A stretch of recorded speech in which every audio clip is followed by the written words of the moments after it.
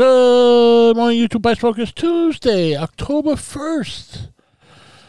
Man, it's flying by, huh? 52 degrees, heading up to 72 in New York. An obstacle is often a stepping stone. Whatever you do, do it well. If anger is fire, forgiveness is water. There are some defeats more triumphant than victories. You only you only fail if if you don't try.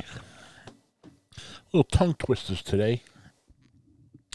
Anyway, hope you're doing well. Fall is in the air. Be well, stay safe. and I'll catch you on the next one. Thank you.